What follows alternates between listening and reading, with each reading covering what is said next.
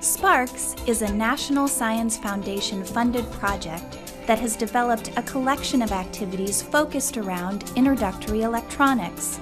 The activities are free and accessible from any web browser from the Sparks portal.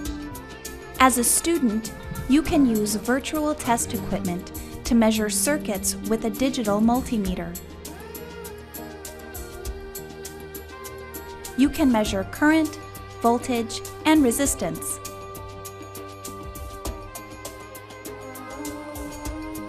You can also troubleshoot circuits to identify the trouble component. Once you know if a resistor is open or short, answer the question. A report shows that you were incorrect.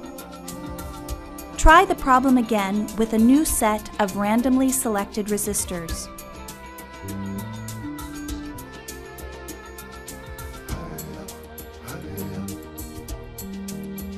Great! You got it! What if you can't solve a problem? Open a tutorial for help. There are 28 tutorials to choose from. You can see your progress across all the levels of an activity.